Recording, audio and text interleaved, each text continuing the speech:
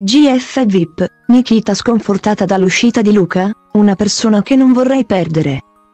L'eliminazione dalla casa del grande fratello VIP 7 di Luca Onestini, nella semifinale di lunedì 27 marzo 2023.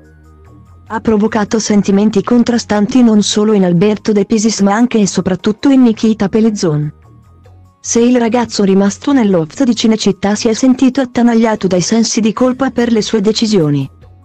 La modella triestina, invece, ha avvertito del forte rammarico per come si è evoluto il rapporto con l'ex tronista di Uomini e Donne nel corso dei mesi trascorsi. Inizialmente si erano avvicinati instaurando una bella amicizia ma la concorrente non ha mai nascosto di provare una certa attrazione per il compagno e hanno finito con l'allontanarsi tra fraintendimenti e sentimenti non ricambiati. Nikita, ha avuto un momento di sconforto che ha palesato parlandone con Milena Miconi. Ultimamente Nikita e Luca si erano riappacificati e avevano stabilito un rapporto di pacifica convivenza. Il ragazzo aveva giustificato l'accaduto evidenziando di voler trascorrere serenamente gli ultimi giorni in casa. L'eliminazione ha scosso Pelizzon che, da sola, si è lasciata andare ad un pianto di sconforto. Che ti è successo improvvisamente? ha domandato Milena Miconi avvicinandosi. Millita ha fatto comprendere che era da tempo che si stava trattenendo, è strano perché era qui da quattro mesi. È strano che non gira più per la casa, che non fa dispetti, ha risposto Nikita. Stavi bene. Era uno stimolo in più e vi eravate riappacificati, ha sottolineato l'attrice per giustificare il malessere della modella.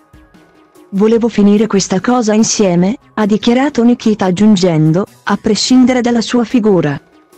È una persona che non vorrei perdere nella mia vita.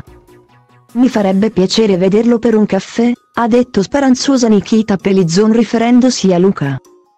La modella ha ribadito che nell'avventura nella casa si sono fatti del male reciprocamente ma Onestini non è una brutta persona. La Triestina ha confidato di aver detto a Luca di non volerlo vedere lontano dalle telecamere ma non è vero perché. In realtà, lo ha solo anticipato per paura. Ormai siamo alla fine e nella vita non si può mai sapere quello che può succedere. Ha affermato l'ex ballerina del bagaglino per incoraggiare la compagna d'avventura e le ha consigliato di non soffermarsi troppo su questi tipi di pensieri. Quanto successo tra lei e Luca è qualcosa di naturale proprio come i sentimenti non corrisposti. Forse, quando il programma sarà terminato, Pelizzone ed Onestini avranno la possibilità di riprendere il loro rapporto di amicizia.